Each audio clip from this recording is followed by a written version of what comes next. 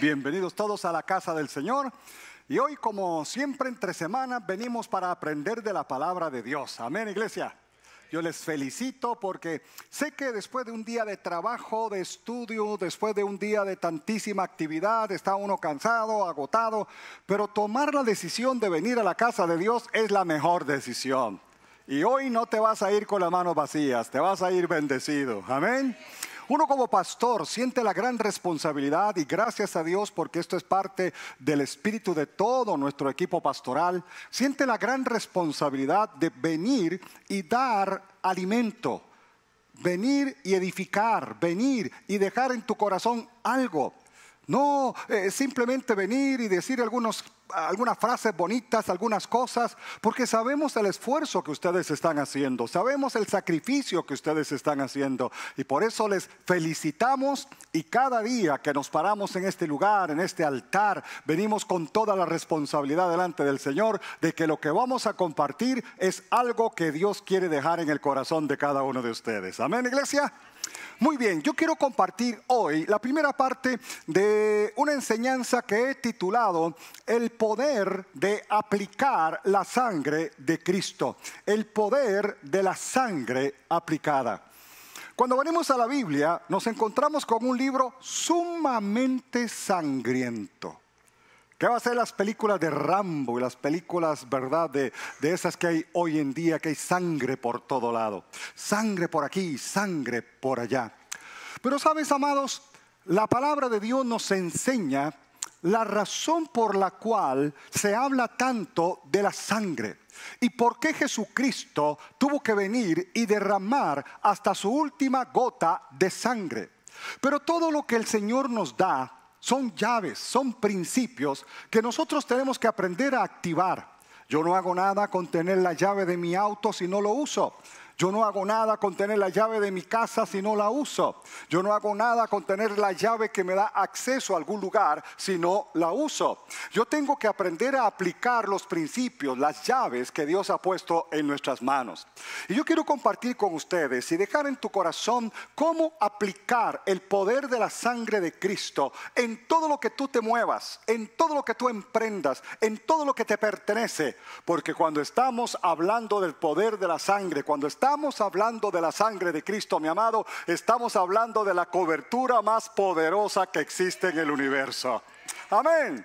No hay maldición, no hay pecado, no hay obra satánica que se resista al poder de la sangre del Cordero de Dios. Sangre preciosa que Él derramó por ti y por mí en la cruz del Calvario. Quiero llevarte a un texto que hallamos en el libro de Génesis el libro de Génesis capítulo 3, porque la sangre es la garantía de un pacto original de cobertura.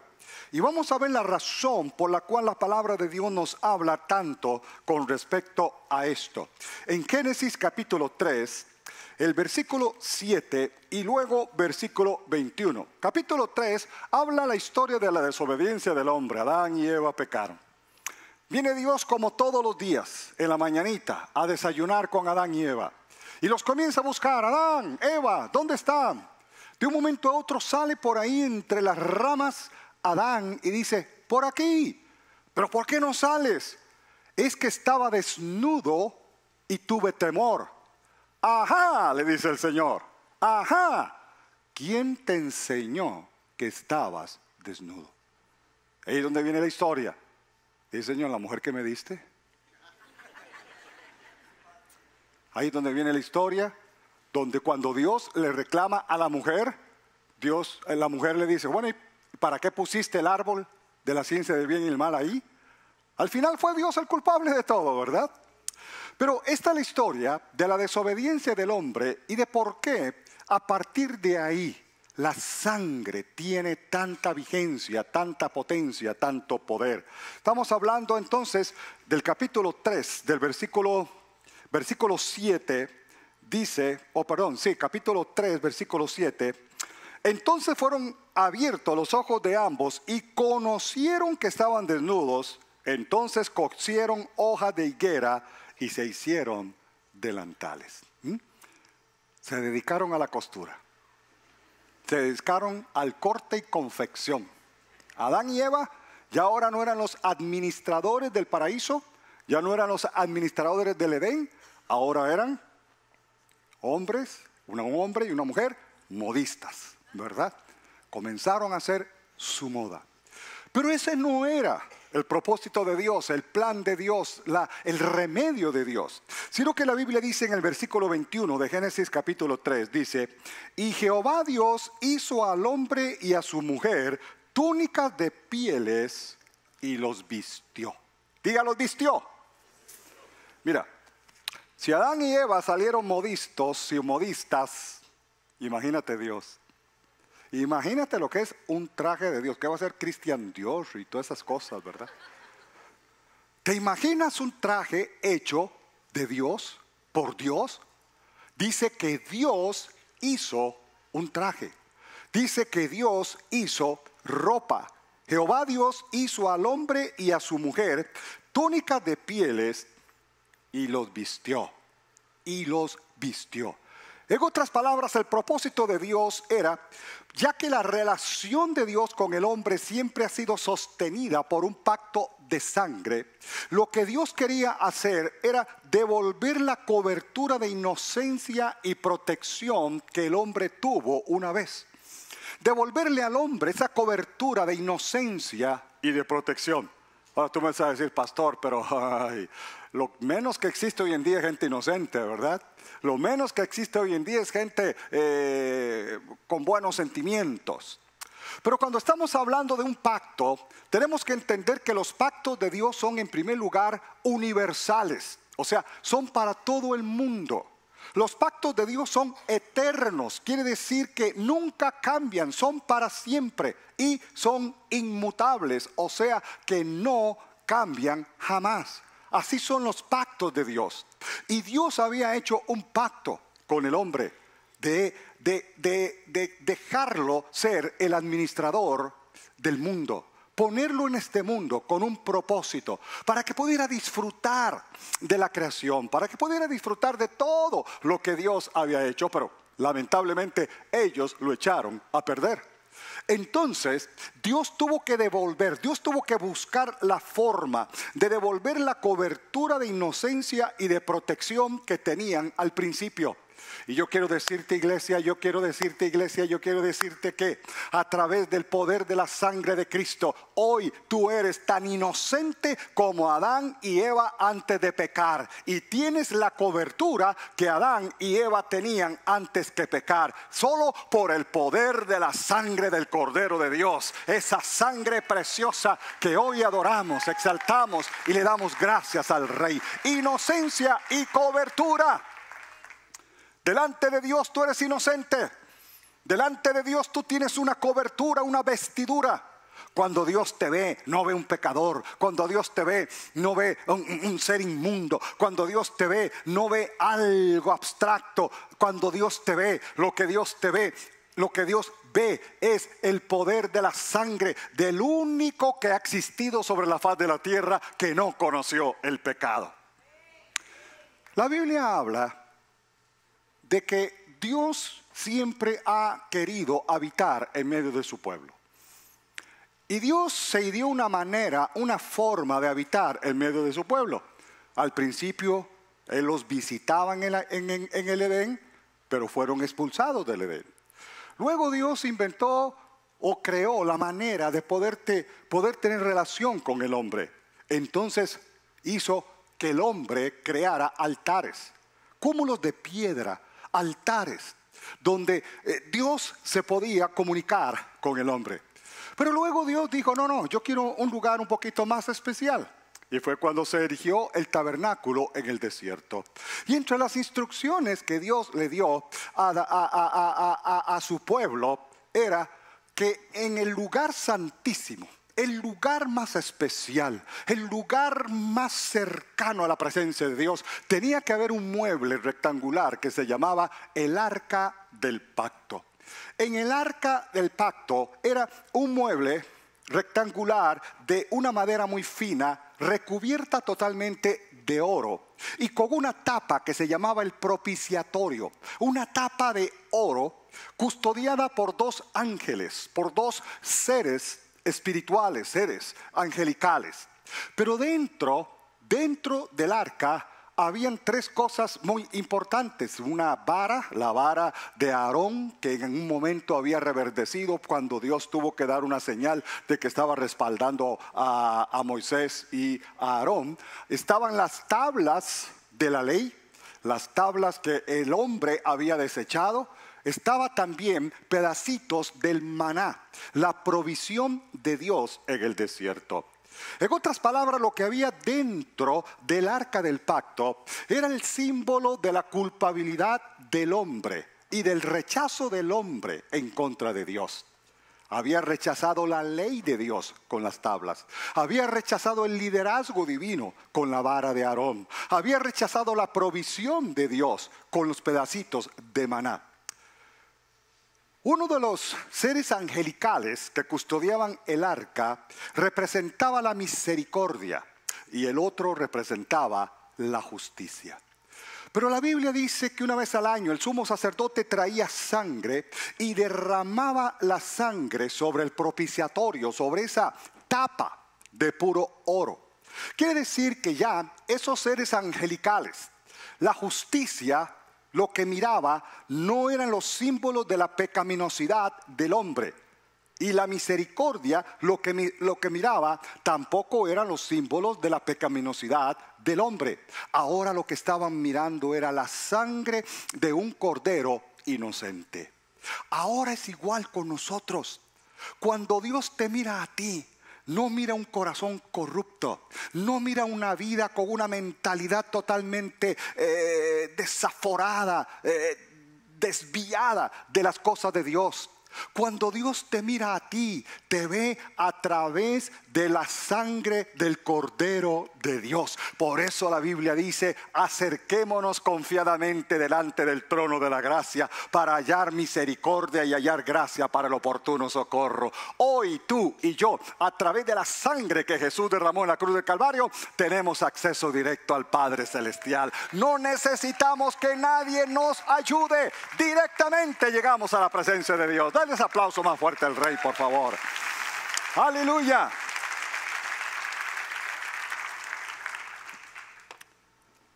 Levítico, capítulo 17, versículo 11 dice, porque la vida de la carne en la sangre está, y yo os la he dado para hacer expiación sobre el altar por vuestras almas, y la misma sangre hará expiación de la persona.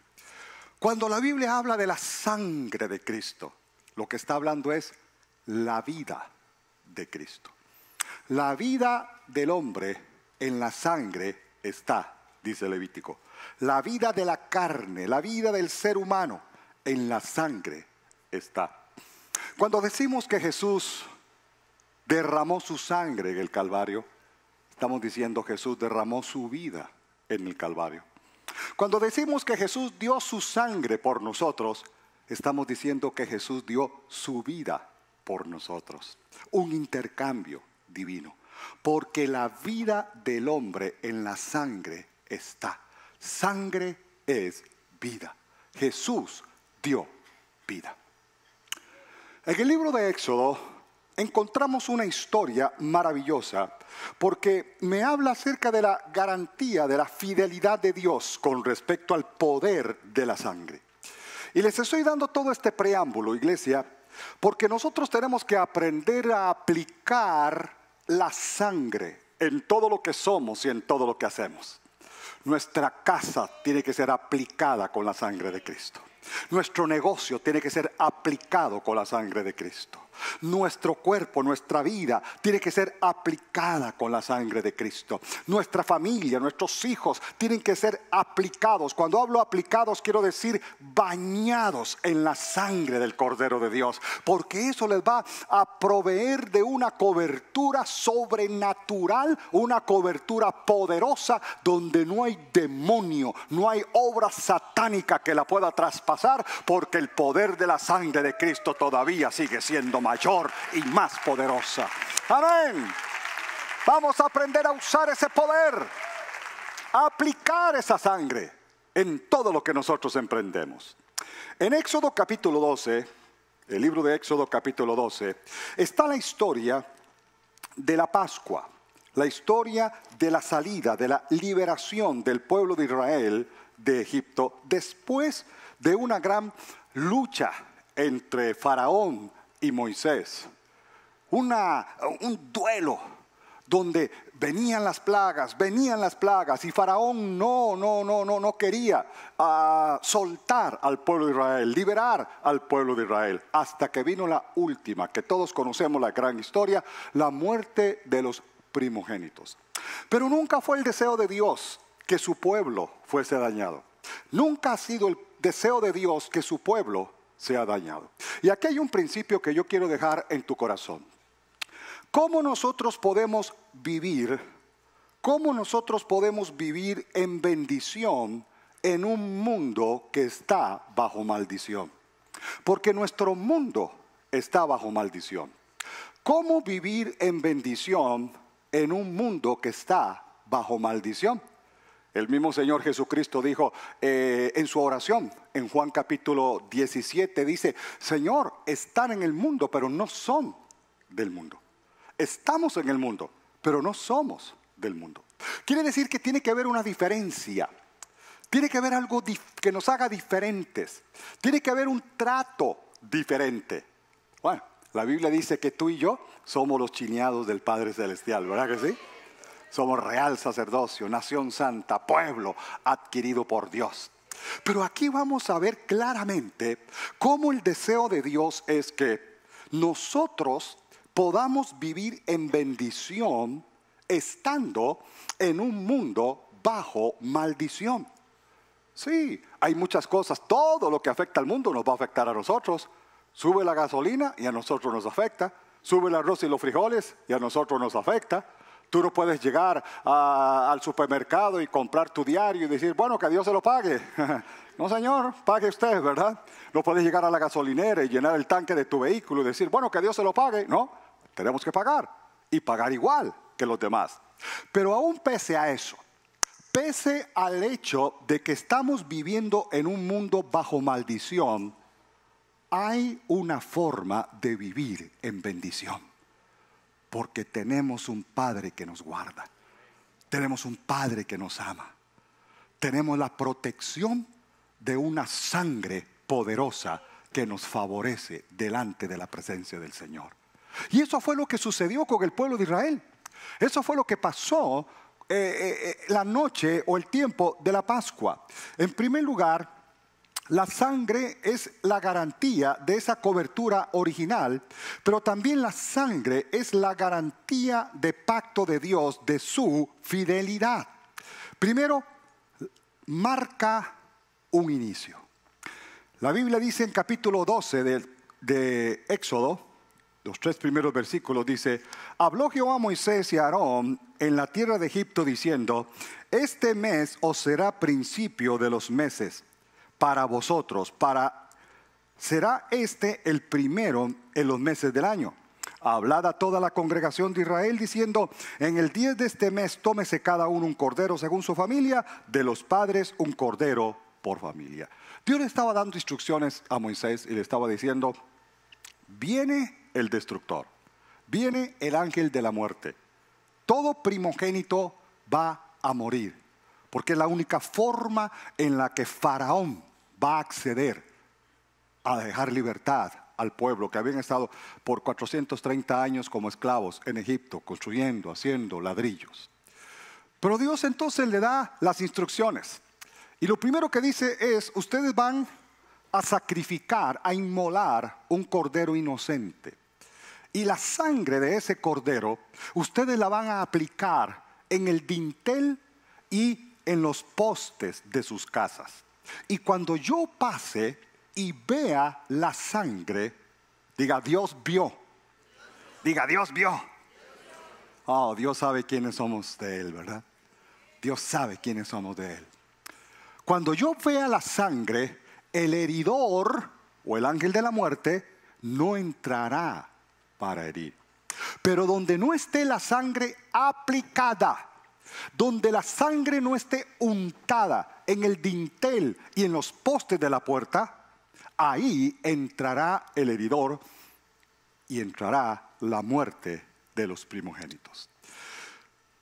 Este acto, Pascua, este acto, este acto lo primero que implica es un nuevo inicio, marca un inicio. Dios dice, este mes os será principio para vosotros. Este mes os será principio para vosotros. Iglesia, independientemente de tu contexto, independientemente de donde vienes, independientemente de donde Dios te sacó, Dios te puede haber sacado del basurero y la inmundicia más terrible y más nauseabunda del mundo, pero el día en que la sangre de Jesucristo te lavó, ese fue el principio de una nueva vida para ti, una nueva creación.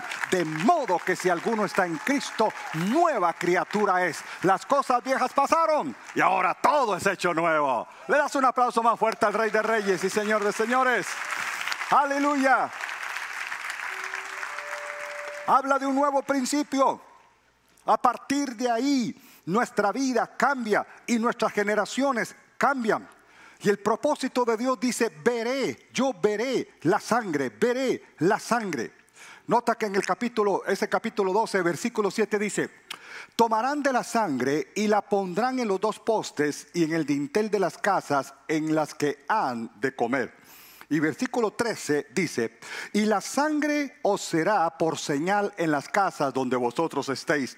Y veré la sangre y pasaré de vosotros, y no habrá en vosotros plaga de mortandad cuando hiera la tierra de Egipto. No habrá plaga de mortandad. Dios primero ve lo que está afuera. ¿Qué era lo que Dios miraba? Dios no miraba la familia que estaba dentro. Dios no miraba a los hombres y las mujeres que estaban dentro a la medianoche con esa expectativa, con esa zozobra. Dios pasaba mirando la sangre. Cuando Dios te ve, Dios no ve quién eres o quién eras o quién quieres ser. Dios ve a Jesús en ti. Dios ve a su Hijo en ti. Por eso, ¿cómo podemos nosotros decir, ay, si Dios eh, se acordara de mí? Ay, yo creo que Dios se olvidó de mí. Ay, yo no sé si Dios me amará como ama a fulano y a sutano. Ay, yo creo que Dios ama más a fulano que a mí. No, Dios ve lo que está fuera. ¿Sabes qué es lo que está fuera de ti? Fuera de ti, fuera de tu alma, de tu espíritu, fuera de tu pecaminosidad, fuera de todo aquello que puede estar dentro de ti que ni tú mismo te lo aguantas. Lo que Dios ve es la sangre que te cubre, la sangre que te protege, la sangre que hace que tú seas un hijo, una hija de Dios, redimida, perdonada y salvada. Amén. Veré la sangre. En segundo lugar, cuando aplicamos la sangre de Cristo, no solamente estamos iniciando una nueva vida, comenzando una nueva vida, sino que cuando aplicamos la sangre de Cristo en nuestras vidas, se nos asegura un trato diferente. Diga conmigo, soy un hijo de Dios. Óigalo en serio, yo soy un hijo de Dios. Mira qué tremendo. En el capítulo 11, del versículo 4, bueno, del versículo 1 en adelante Dios está hablando y preparando a Moisés, avisándole qué es lo que va a pasar. Pero en el versículo 4 de ese capítulo 11 de Éxodo dice, dijo pues Moisés, Jehová ha dicho así, a la medianoche yo saldré por en medio de Egipto y morirá todo primogénito en tierra de Egipto, desde el primogénito de Faraón que se sienta en su trono, hasta el primogénito de la sierva que está tras el molino, y todo primogénito de las bestias. Y habrá gran clamor por toda la tierra de Egipto, cual nunca hubo, ni jamás habrá. Pero, diga pero, contra todos los hijos de Israel, desde el hombre hasta la bestia, ni un perro moverá su lengua. Cuando el perro es cristiano, se salvó. Amén. ¿Mm? Por eso la película Todos los perros van al cielo. Pero ni un perro moverá su lengua. Ahora, ¿por qué? Para que sepáis que Jehová hace diferencia. Diga, Dios hace diferencia. Diga, yo soy diferente. Para que sepáis que Jehová hace diferente entre los egipcios, hace diferencia entre los egipcios y los israelitas. Cuando yo aplico la sangre de Cristo sobre mi negocio, cuando yo aplico la sangre de Cristo sobre mi liderazgo, sobre mi ministerio, cuando yo aplico la sangre de Cristo sobre los míos, cuando yo aplico la sangre de Cristo en algo, cuando yo aplico, yo pongo la sangre, cubro con esa sangre preciosa y poderosa, Dios dará un trato diferente. Pastor, pero es que todo el mundo está pasando por eso. Sí, pero Dios te tratará diferente. Pastor, pero es que eh, eso es lo que está pasando hoy, eso es lo normal en el mundo. Sí, pero Dios te va a tratar diferente. Dios da un trato diferente cuando hemos aplicado la sangre de Cristo. Por eso vamos a aplicar la sangre sobre nuestras casas, vamos a aplicar la sangre sobre nuestras familias, vamos a aplicar la sangre sobre nuestro negocio, vamos a aplicar la sangre sobre nuestros planes. Cada plan, cada proyecto, cada anhelo de tu corazón, cada deseo, cada cosa que Dios ponga en tu vida, cada eh, cosa que tú quieras emprender, aplica la sangre de Cristo sobre eso.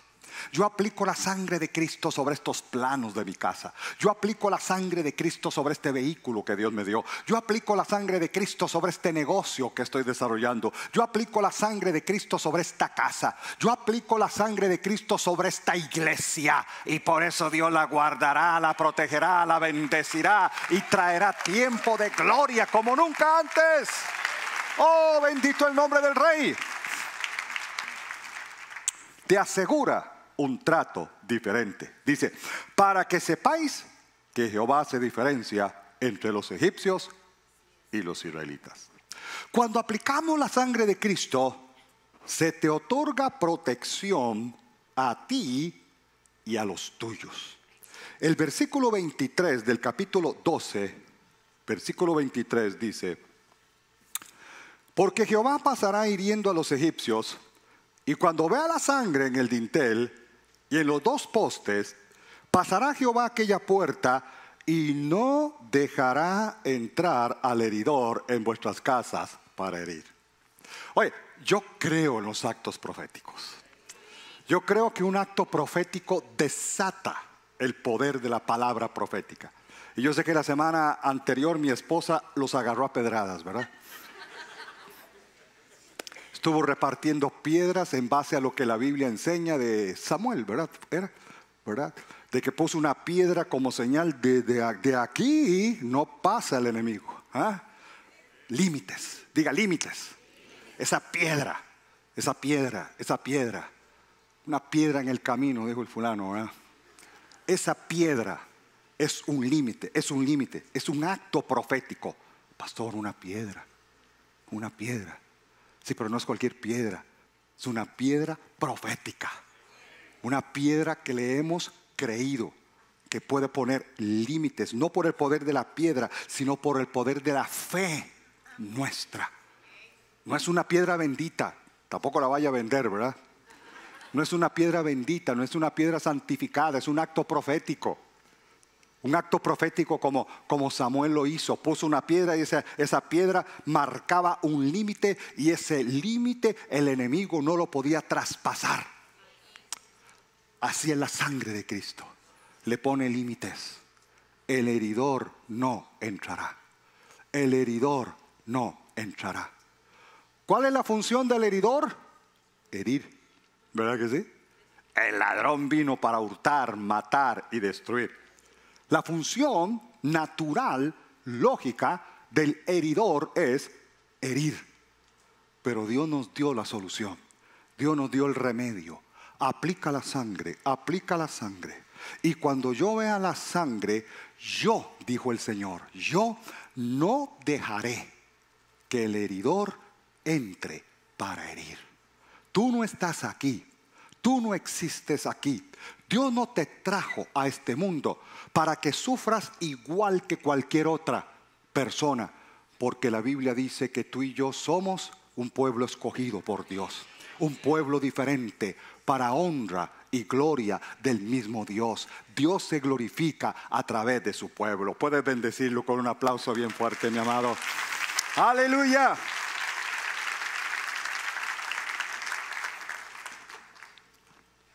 Hebreos 11:28, capítulo de la fe, hablando de Moisés, dice, por la fe, diga fe, celebró la Pascua y la aspersión de la sangre para que el que destruía los primogénitos no los tocase a ellos. Quiere decir que el poder de la sangre de Cristo no es algo automático, hay que creerlo hay que activarlo.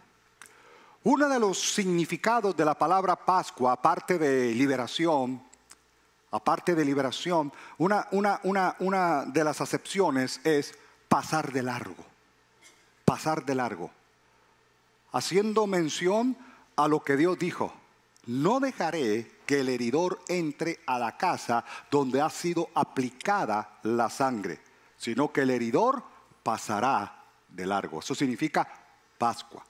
No solamente ser liberados, sino también pasar, pasar de largo.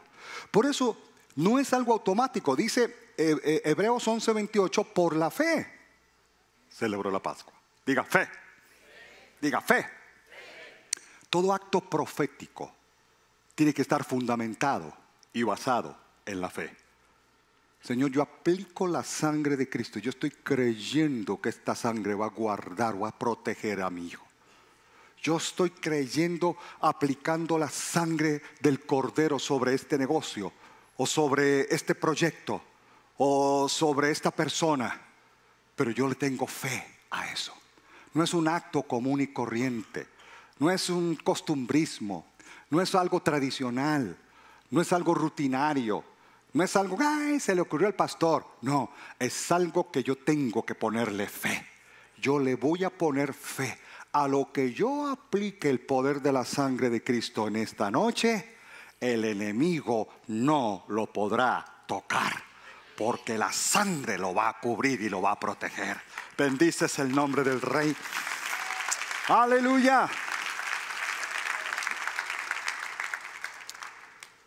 Mira qué interesante, hablando de la fe, porque la Biblia dice, regresando a Éxodo capítulo 12, en el versículo 22, la Biblia dice, tomad un manojo de hisopo y mojadlo en la sangre que estará en un lebrillo.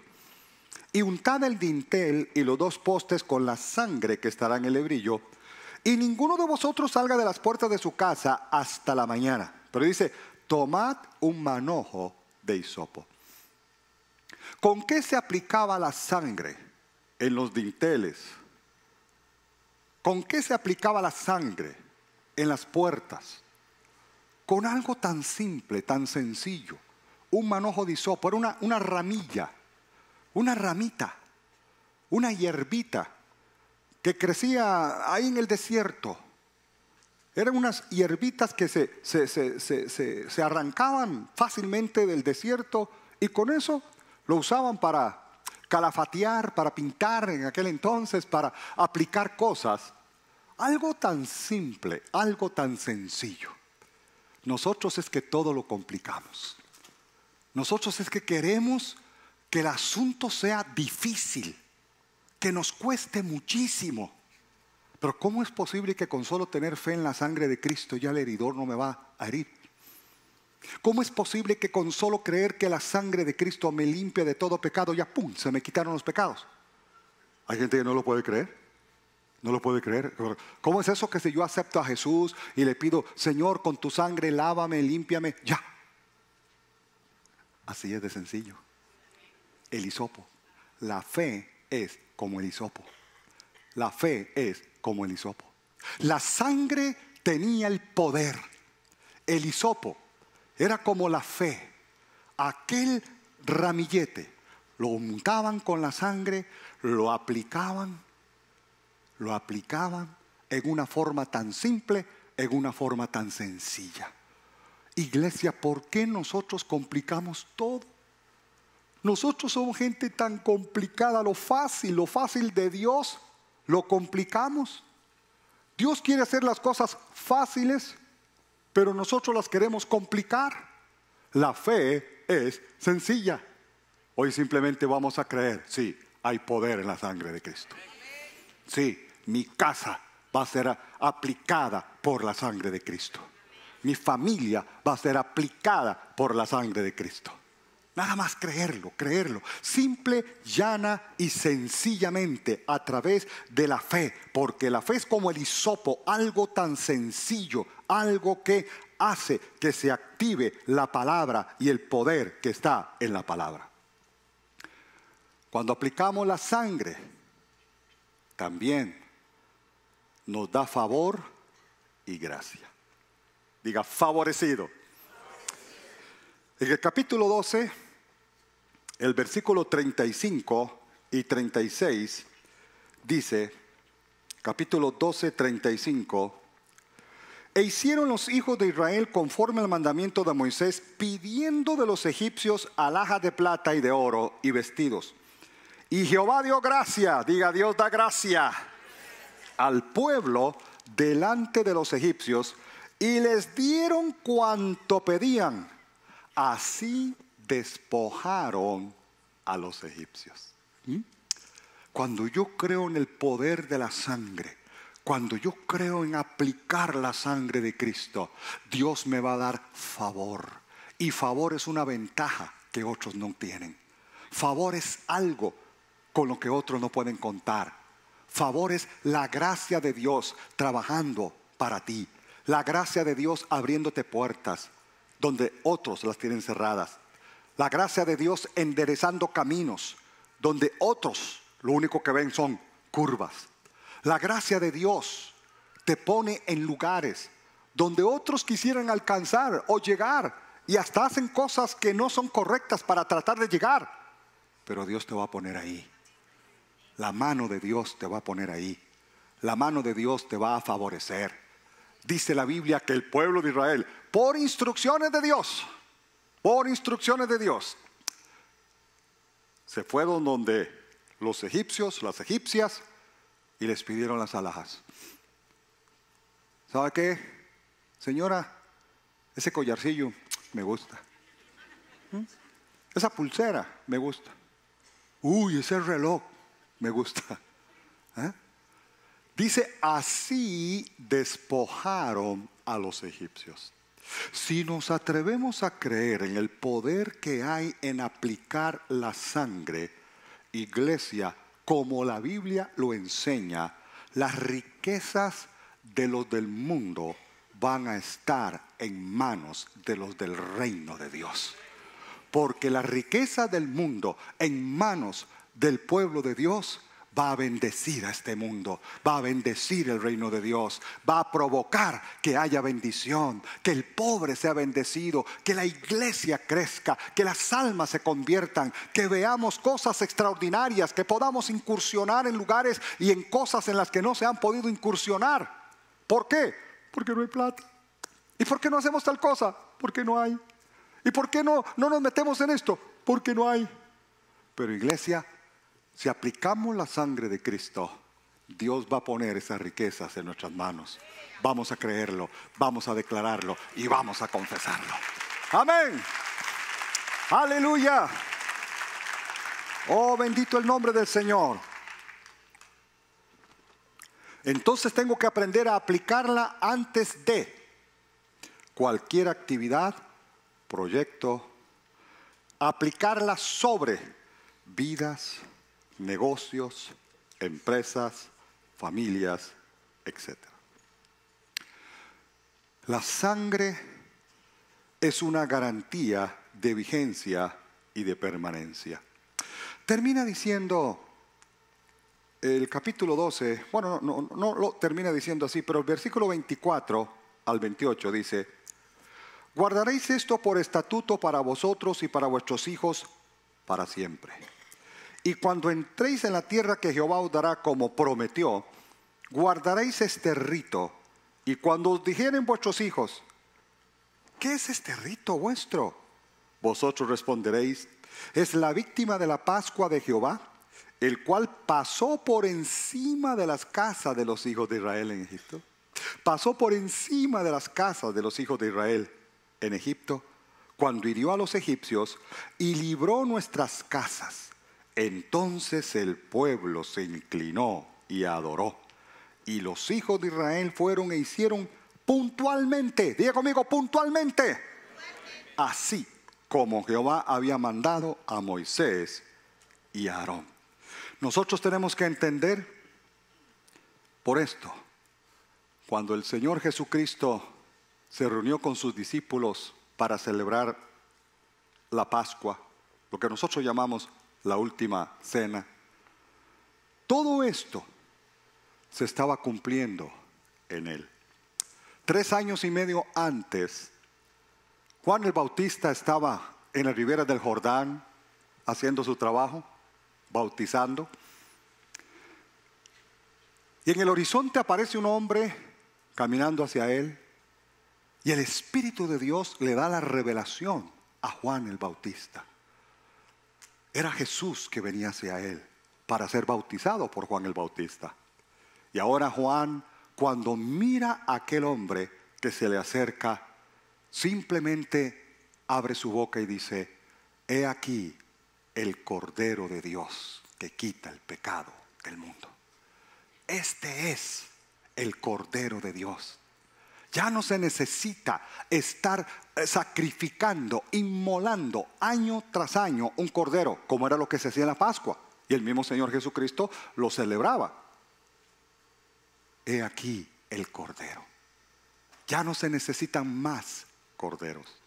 Ya no se necesitan más. Ya no se necesitan otros medios. En Cristo lo tenemos todo. Lo somos todo y lo logramos todo porque Él es el Cordero de Dios que quita el pecado del mundo. Dale el mejor aplauso al Rey de Reyes, Señor de Señores. Y quiero invitarles a que nos pongamos de pie. Vamos a ponernos de pie. Vamos a adorar a Jesús por esa sangre preciosa.